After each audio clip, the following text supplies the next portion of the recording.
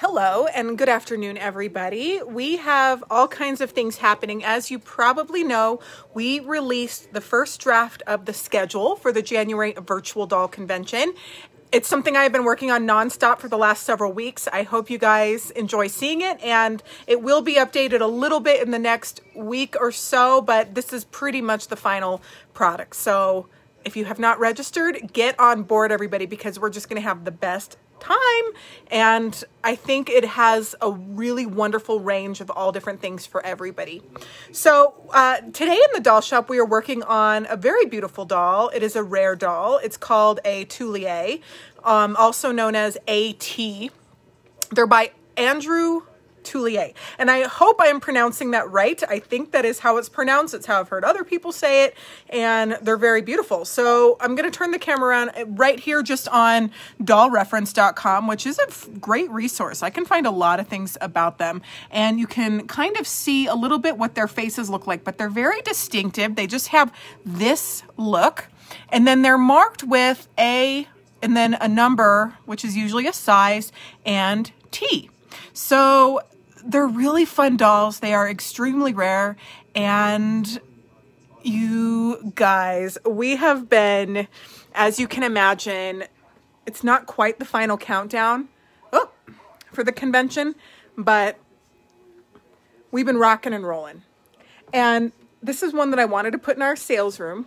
And so Linda has been rocking and rolling, trying to get these dolls ready for their show.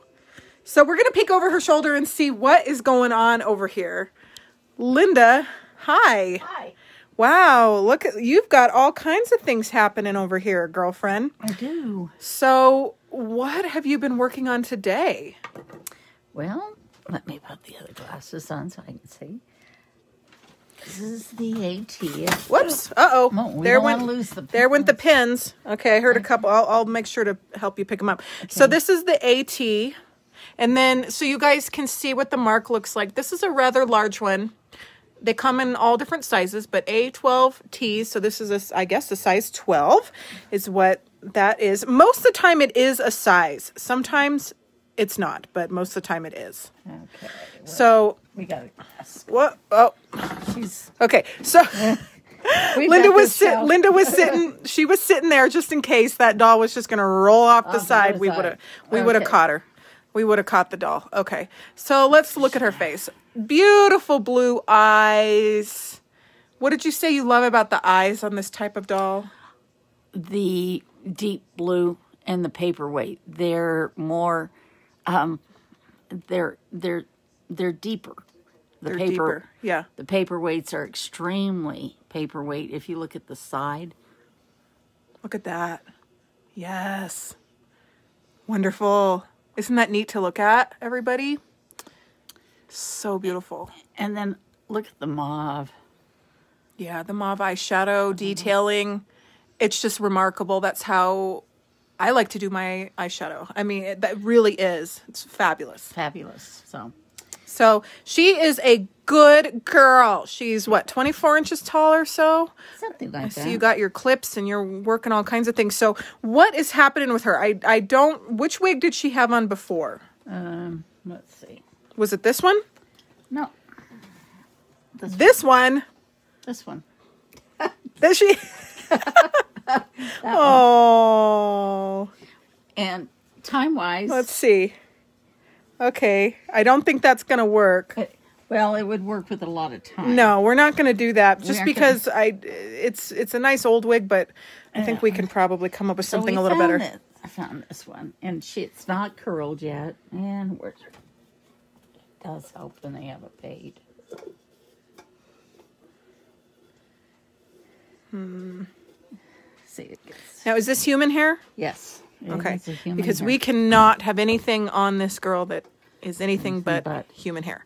but you can see that. And now So you've kind of combed it out. You're gonna tame it. I'm gonna tame it. I'm gonna curl it, but I needed to get some hair out of it because it was way too much hair. For Linda her. put some on these little wig stands, and she can kind of work on it and curl it and do whatever she needs to do with the wigs, just like that. So let's see. Here. Oh well, this- this is gonna Take some time. Yeah, this is going to take some time, but uh, she is worth it. This is She's gorgeous. I love the hat, and this is what she came with. Yes. But Let's talk can- about this hat. you can see huh, there it has a lot of the wires are coming loose and i'm going to have to tuck them in but i was thinking okay honey you gotta go lay down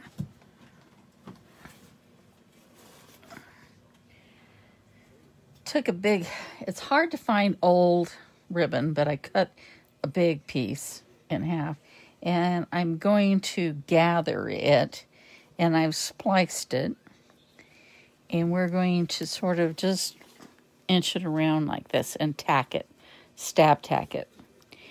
And then what i have left i'm going to sort of stuff in here and steam this open. Yes, that'll be pretty. To get this and you can see this is stuck It's and, and it's very um what do you call it? What do you call it when the it's fabric's like it's that? starting to melt melting. Yes. it's melting on me so are you going to be able to steam it if it's melting? yeah Okay. i'll put something underneath it and steam it very lightly I'm learning right along with you guys that are that are viewing right here. So uh, it's So, fun for us all to learn. we're going to do that and then her dress Now this is the one she came on to. You uh, so a lot of times we will if it's not the original dress. Sometimes we redress them. Sometimes we don't.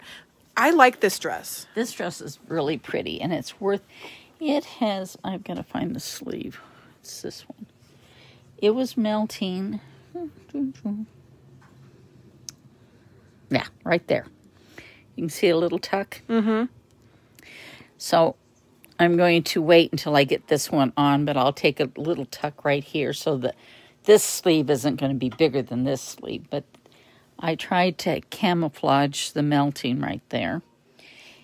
And to get it off, we had to open up right there. And I'll have to stitch that because her hands go like this. I love these hands. I love that- everything about this doll. When you have a hand, a thumb that goes out, sometimes Yeah. it's hard to Right. to get them tight around the wrist. But You think you can make this work? I'm hoping. What I think I'm going to do is you notice that here's the long one and it was tacked down.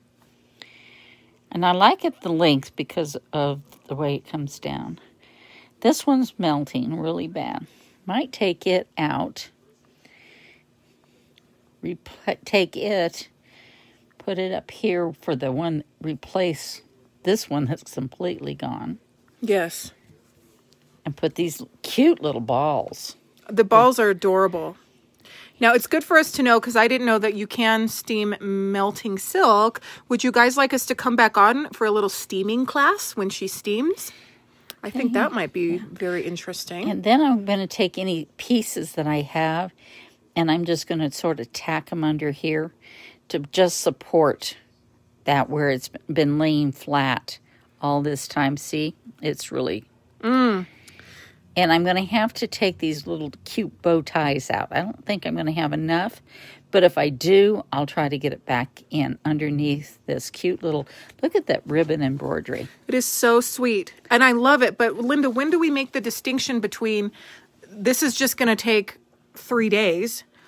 I hope it's not going to take three days because that's what I was sitting here thinking. Uh-huh. Which is the easiest way to do it, and how much do I do? right. And I do not want to take, I guess, the integrity of the garment away. So if, if you look underneath, let me show you if I can very carefully.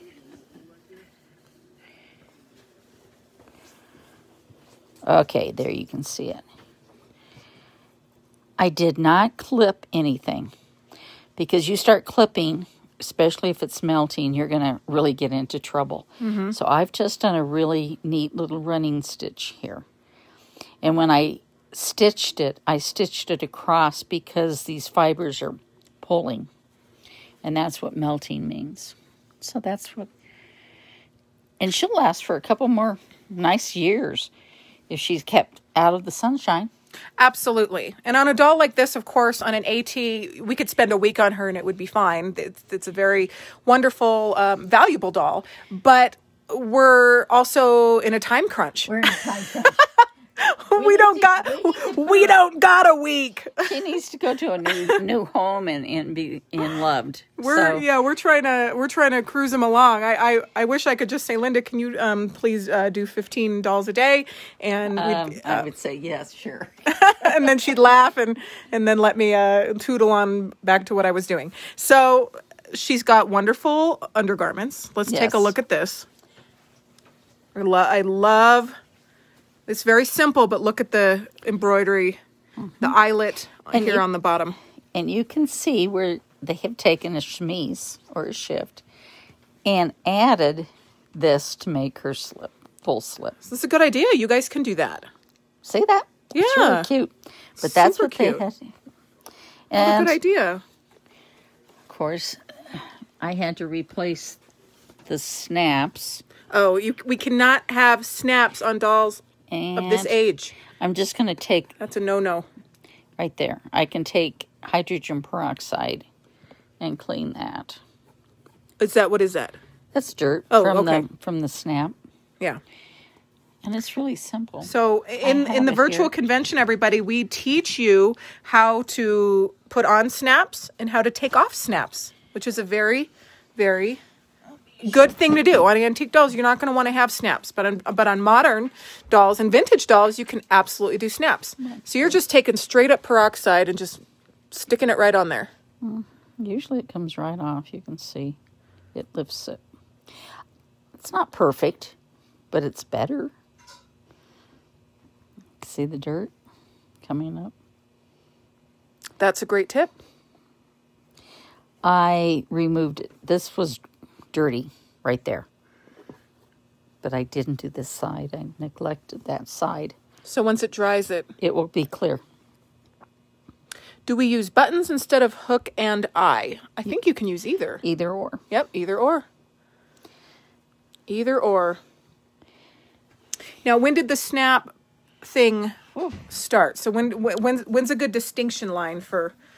Um, I really I, w- I would say probably like the 30s, I think so. Around the 30s, 20s, 30s. 20s, 30s is is your hard cutoff, and then But they used a lot of buttons back then. A lot of flat buttons. you're always safe with buttons. I feel like. Oh, I think buttons are, you know, but I would have to look it up, honestly. yeah. But I just automatically do hooks and no wire eyes. I always do loops. yeah. And that's just something I always do. So, for those who are just tuning in, we are just starting our journey today with this wonderful AT. It's by Andre Thuillier, and it's a very rare French doll. Just wonderful. They're so distinctive because the eyes. I really feel like you can just tell one immediately by the eyes. Look at the threading. Yes, the threading is magnificent, isn't it? Just gorgeous. Yeah, she's got great coloring.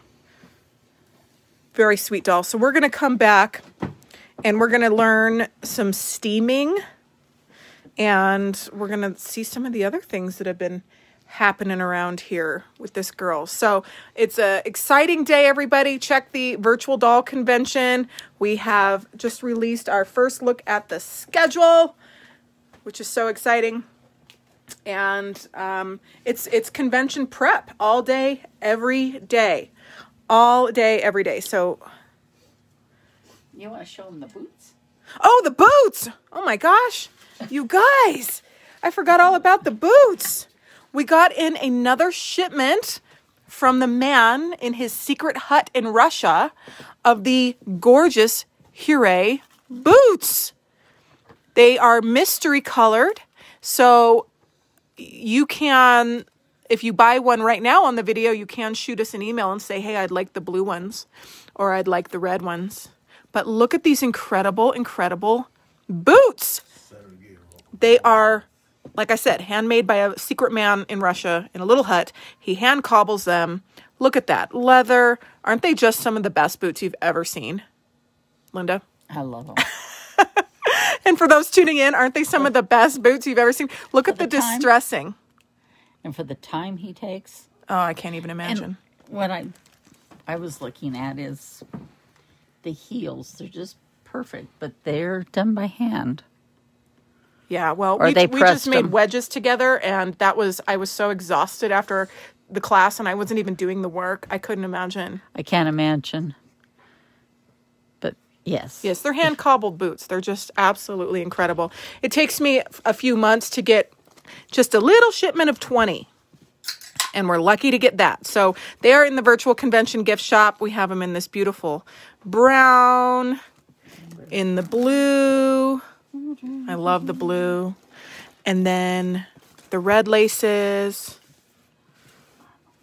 Just fabulous. And they've got these great buckles, all leather, really spectacular, just absolutely divine. So this, I don't know why these are in here though. This must be like a one-off because these are actually, Um, these are actually red. All the other ones are are um, suede. and they're suede. Yes. There's a there's a match right here. That is interesting. Because all of our pairs are this wonderful brown leather that is distressed, you guys. They're just so wonderful. But I don't know if we meant to get these ones. That's all right. I love them. I love them. keeping them. Okay, so you can guys can get those in the virtual convention gift shop. I only have 20 pairs, actually more like 18 pairs.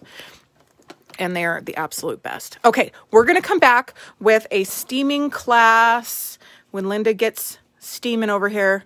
And so what are you working on next? The hat. I am. I'm fascinated by that hat. Yeah, That's I love the hat. The hats are so important and Lindsay, you are a wizard with what you do with hats. So it's it's a fun day. Stay with us everybody. We will be back. Bye.